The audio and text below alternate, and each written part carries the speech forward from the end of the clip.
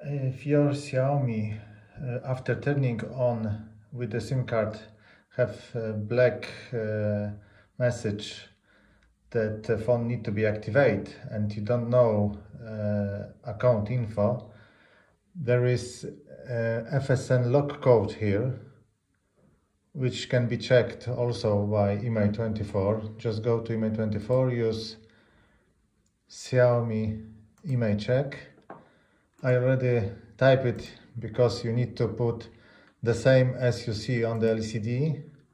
Confirm that you are human.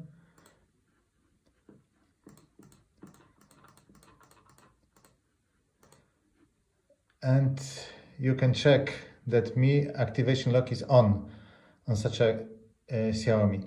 So uh, if you don't know the login and password, we can easily unlock also this by our Xiaomi account remove worldwide or Europe. Thank you.